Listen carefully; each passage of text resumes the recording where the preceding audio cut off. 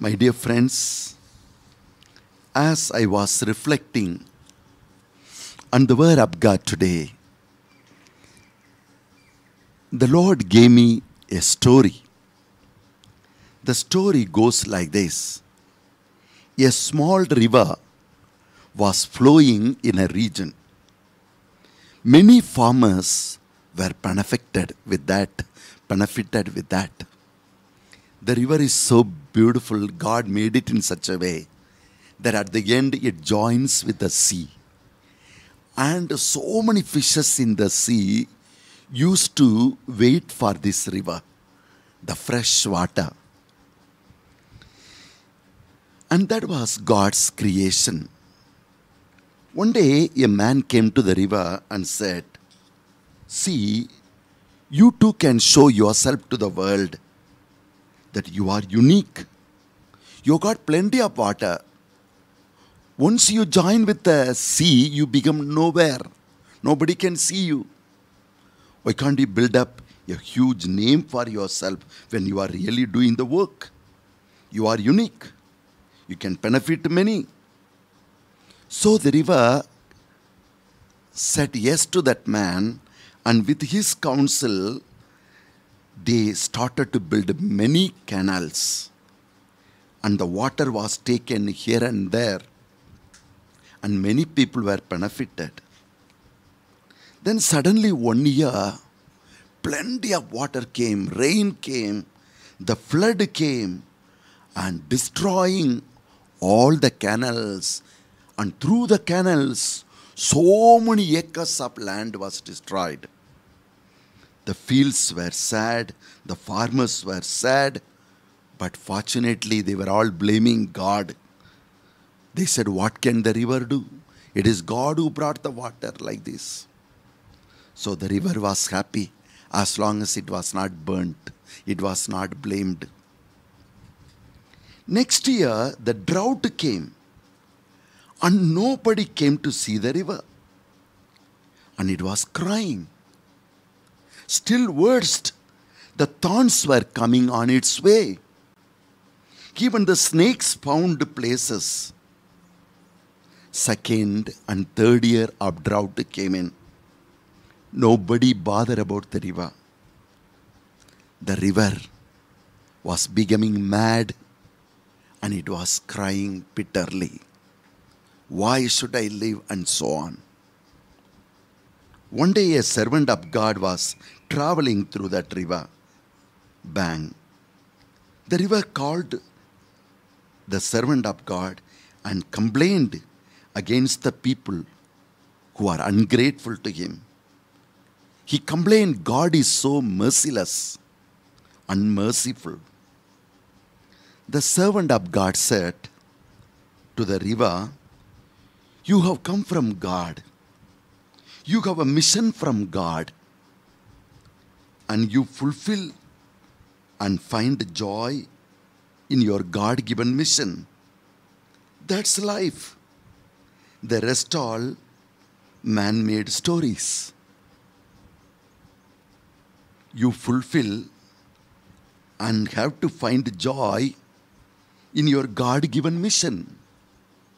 You are taking care of many fields and you are joining in the sea not for anything but to give life to so many things, so many living fishes and animals in the sea. So, when you follow God given mission, is life. The rest all man made stories said the servant of God. Why then the droughts, snakes, thorns, they all have come and destroying my life. Why did God allow all these? The river complained. The servant of God said, God does everything for good. His wisdom we should understand. In nature, he always brings equilibrium. That is his style. We can't stop it. Life is God's. We are only beneficiaries. If we move with God, life has meaning, life is lovable. Look, light comes next to darkness. Summer comes after the rainy season. Don't tell me that you don't need summer. It is so hot. Only in the hot season, God will burn every gems and every unwanted element that are in the field. That next moment the farmer can plow and bring a good crop. Otherwise, the worms that came in the some in the rainy season and in the winter it will remain and destroy the field. God is his uniqueness.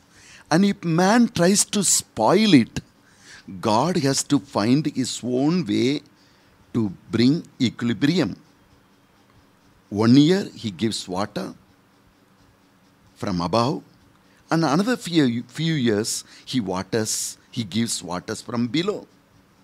God adjusts everything, even nature. When you forget God and say what the intellect he gives is great, you forget the giver and you think of only what he has given to you and you make it so great.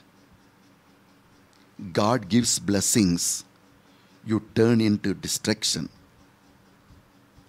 The servant of God said to the river, Can you see what's happening in the world?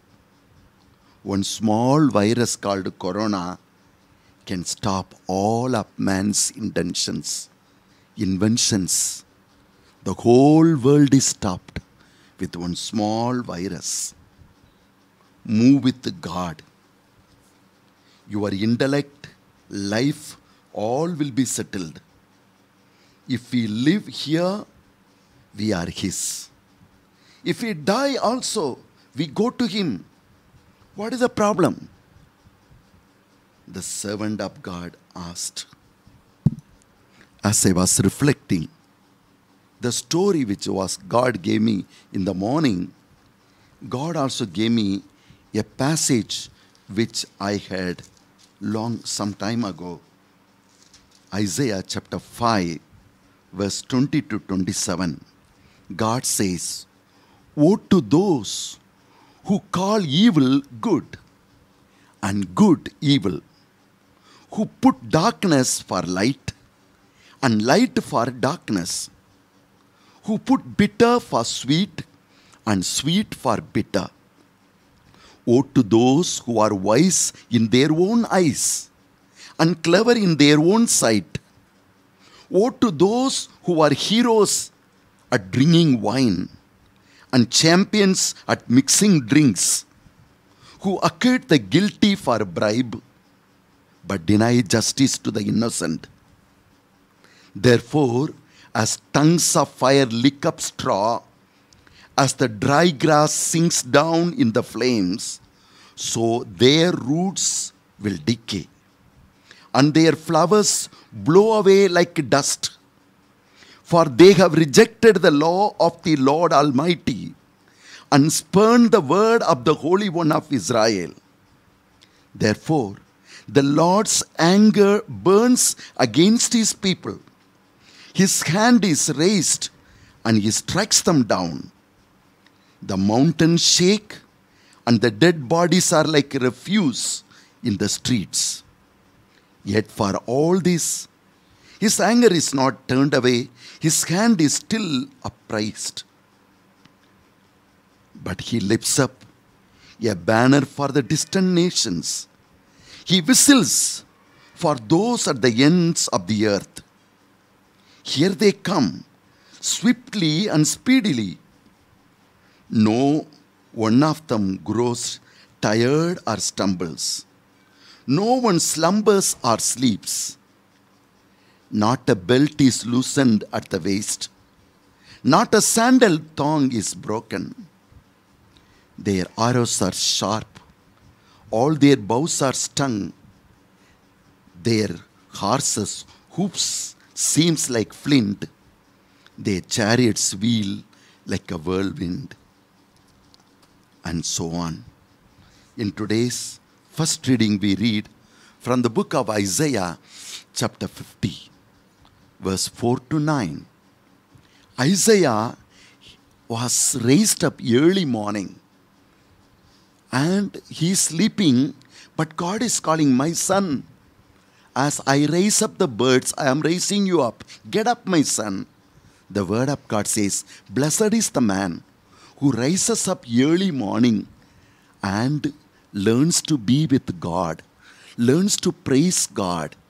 We read in Mark 1:35, Jesus got up early morning to know the will of the Father.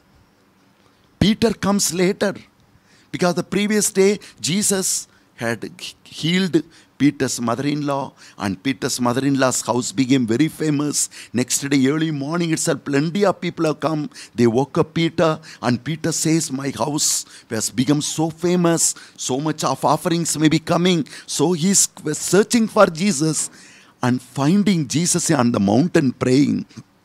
He's shouting at Jesus, What are you doing here? Come back to my mother in law's house. It has become very famous. Thousands of people are waiting. Jesus was praying, who got up early morning and invested his time with the Father, says, No, my Father tells me we have to go to other villages. That's all. Whether thousand people wait, ten thousand people wait. No. I am here to do the will of my Father.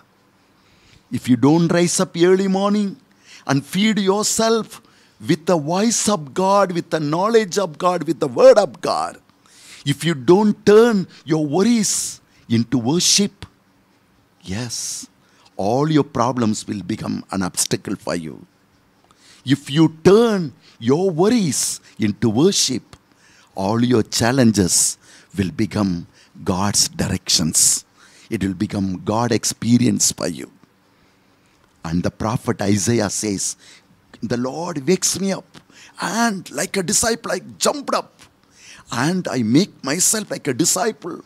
My body is pulling, no, you are tired, you need rest. What will happen? He said, Get lost. I trained my body. I hit my body. Get up. You are meant for God. You are God's child. You have come from God. And only in God you will find life. So I trained my body. As St. Paul says, in 1 Corinthians 9 27, after preaching to everybody, working for God, if I become useless, it is waste. So I hit my body, I train my body, I train my mind to discipline. Yes, that's what in 2 Peter chapter 1 verse 7 Second Timothy chapter 1 verse 7, St. Paul says, God has not given us the spirit of fear, but the spirit of love to become a loving being. Spirit of courage to face everything with the courage and wisdom of God and to be a man of discipline. The world should not rule you. God should rule you. And through God, you carry His light and you become light to the world. You become salt of this earth. That's what the prophet says. He makes him, he makes me a disciple. And when I sit at his feet, the wind blows, many things happen, but I made my face like a rock because I have given myself to God. And this is the time for allowing God to use me that I may be useful to the world, that I may be full, I may be fulfilling the purpose for which God has called me. The disciple says, I did not disobey and I remained as a disciple. They even pulled my beard. I became a savior, remain as God's prophet and God made me a prophet in history. I didn't go backward, and so nobody could catch me. The world could not catch me because I did not go backward. The prophet didn't go after history, establishing himself, but God established his faithful prophet, a prophet, Isaiah. and made him to remain in the holy book. In the gospel of today, we find Matthew chapter 26, verse 14 to 25. God chose Judas as an apostle to know, to love, and to serve God. But he was running after money. 1 Timothy chapter 6 verse 10 says, Money is the greatest evil, and many people, including the servants of God, are destroyed with a lust for money, lust for the world, to give themselves to where God has not called them to. And the book of Ecclesiasticus, chapter 5, verse 10 says, Whoever loves money never has enough. Whoever loves wealth is never satisfied with their income. This too is meaningless. I know of a friend, whatever we give, he will never be satisfied. If he gives something, he will take it and put it in the bank. And next moment, he will be feeling empty, zero. He will earn some money, again, he will put it in the bank. He will be always zero. And he never loved the people who loved him. And whenever I look at him, my heart cries. God gave him too many talents, but he remains as an empty man. Yes, that's what happened to Judas. Love for money led him to what extent? To the very enemies who wanted to kill Jesus. The moment we fall into the trap of money, the money will bind us. Sin will separate us from God, and money will take us in bondage. Bondage means you not only move away from God, but you will be bound with the evil. And so many people have lost their vocation, lost their beautiful call, how they might have been anointed with the Holy Spirit, how they might have been receiving even the gifts and fruits of the Spirit, the revelation of the Spirit. They have become emptied. Some of them even have committed suicide, like Judas. Jesus gives opportunity. Jesus reveals, calls Judas and tells him you are going to betray. Gives him an opportunity. Son, what you are doing is not right. Jesus gives him so much of love. He said, This is my body, this is my blood. Now he gives to him, My son, please take. I am giving myself to you. But Judas, who has already bound himself in the evil, did not come back to the Lord. Mind that is given to money is bound by evil and move with and it never returns to God. God is telling us move with God's mission. Let God create you, and it is He who can make history for you. Your life is a gift of God, and life is to be in the hands of God and allow God to use us for His glory. Enjoy your life.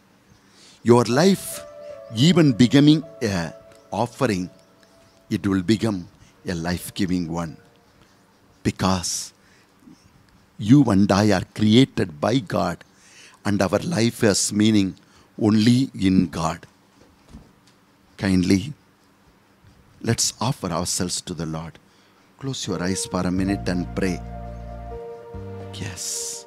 Ask Him, lift me up to your mountain, O Lord, that I may see your presence, Lord. Closing your eyes, check your life. Where are you going? Why coronavirus? God is God is bringing equilibrium to the world. He has to do. The earth should get back to the fresh air the birds has to return back to our ears to sing their songs. God is calling. Open your hearts. In Him you live. Ask Him to lift to you to Himself, to His presence, to His mission and to His purpose. Lift me up to your mountain, O Lord, where I can see you face to face. Lift me up to your mountain, oh Lord, where I can